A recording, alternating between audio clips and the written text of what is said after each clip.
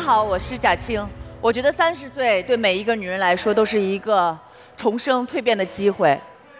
我今年三十四岁了，我有一度是处于非常迷茫和呃恐惧、失落的状态。我相信在座的各位浪花姐姐们也有过这样的时候。但是我今天站在乘风破浪姐姐的舞台上，我想发光发亮。我的这一票是你们可以给我的，你们可以帮助我继续留在这里。追求梦想，最后一句，帮我投票，还有我们组的李菲儿和 郭晓青。啥？他没有麦了，但是他大声的喊的左小青姐。谢谢你们了。